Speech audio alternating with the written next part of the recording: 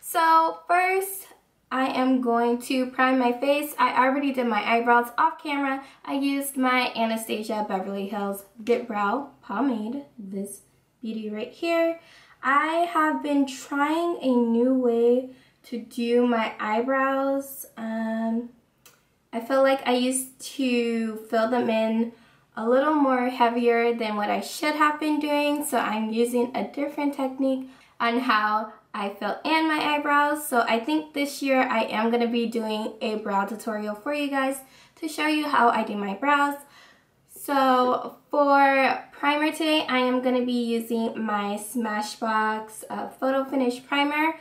This is the first time I've ever purchased this primer. I've heard really good things about this primer.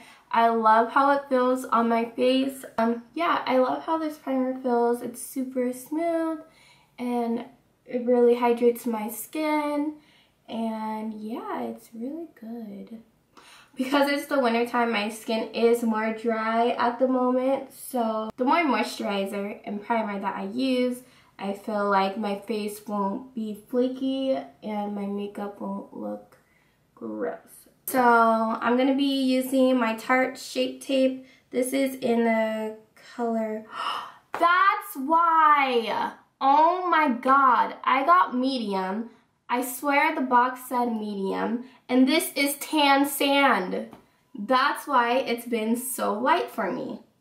I've been trying to figure out why this shit is so light. Oh my god. I'm not using this. So I'm just to take my LA Girl Pro Concealer and just put some of that on my lid. And I'm just to blend this out all over my lid. And I'm just priming my lid before I go ahead and apply my eyeshadow. So I'm just to take my Laura Mercier powder and I am just to apply that on my lid. So I'm going to be using my Huda Beauty Warm Obsessions palette.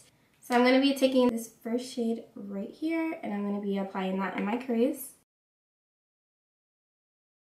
And I am taking my BH Studios Cosmetic uh, number 5 brush. Last month in the beginning of December, I helped do like a makeup workshop for older women and it was for the company Arbonne. Um, yeah, I know a lot of people don't really use Arbonne, but um, yeah, so I helped them out and they gave me some free makeup. I'm going to be using that in this look today.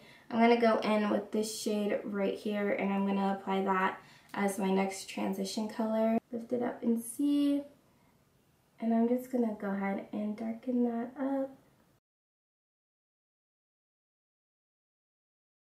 Going back in with the Huda Beauty palette, I am going to be taking that color right here and I'm going to be applying that in the crease as well just to darken it up some more.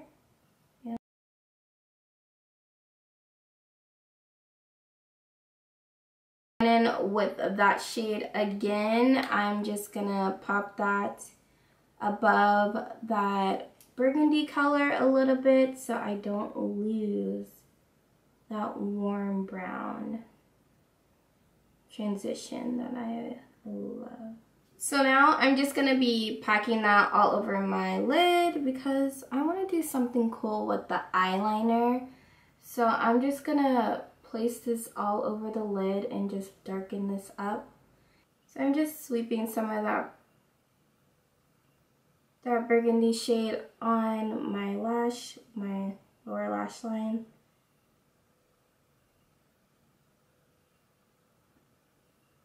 And then I'm going to take some of that orange and kind of sweep that under as well. I'm going to take this Marc Jacob eyeliner and apply it on my lower lash line. I'm going to be taking this BH Cosmetics 107 brush to create this liner. And what I'm going to do, the same thing I do with my regular liner.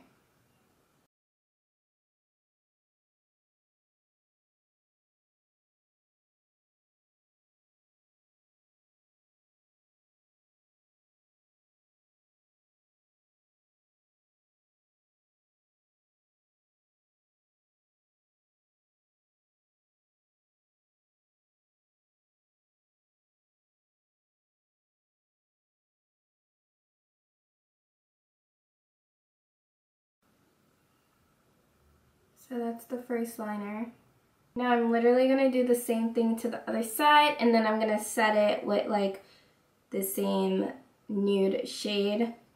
So I asked my husband if I should add some black to this. He thinks I should add a simple black liner under this. So that's what I'm going to be doing. I'm going to be taking my Bobbi Brown um, Longwear Gel Eyeliner and this is in black ink. And I'm just going to go ahead and take that and apply a very simple liner on the bottom.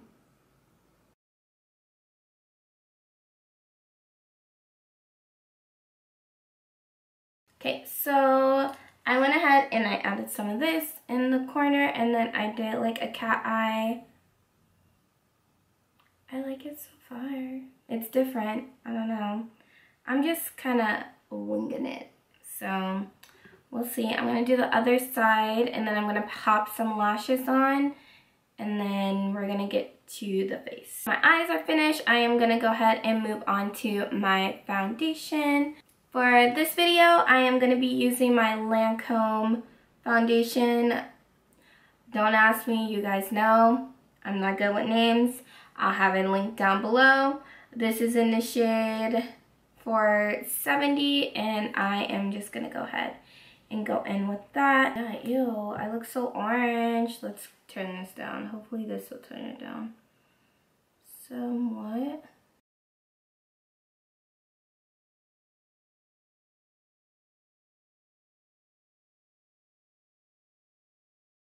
So I used my LA Girl concealer um, because I'm not going to be using that Shape Tape because obviously I got the wrong shade. So yeah, this is what happens when you let people color match you. Usually I do my own color matching. Um, but this time I let someone color match me and I got the wrong foundation clearly. So I'm just to go ahead and set that with my Laura Mercier powder. For bronzer, I'm using my Bobbi Brown. This is the only bronzer I use because I'm in love with it. I got a new contour brush. Yes, I did. This brush, it's from Japanese and it is $28. It is the best investment I've ever like this is the best brush I've ever bought in my life. It is soft as hell. Like, I love this brush. Like, $28, I will, I don't, mm, yeah, I don't spend a lot of money on my brushes, but this brush was worth every penny. So, I'm just gonna go ahead and warm up my cheeks with this amazing brush.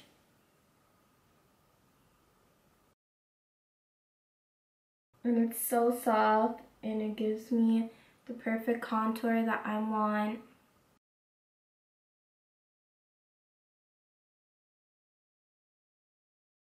I look so glam. Yes, honey. I love it. I'm just gonna go ahead and wipe away that excess powder with this big Morphe S15 brush. I love Morphe brushes. I'm going to be using my Topaz by Becca Cosmetics.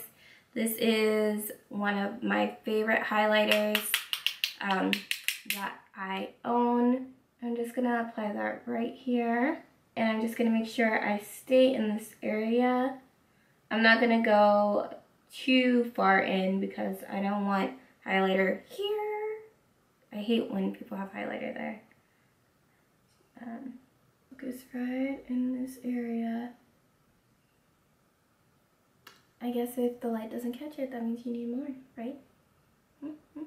And then I'm going to take my NYX Lingerie lipstick. This is in the shade Teddy.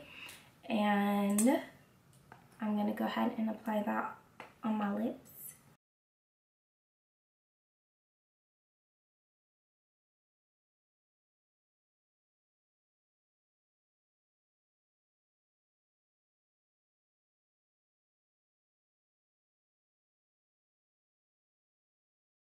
Then I'm gonna take that same color I put right here and just place a little bit right here.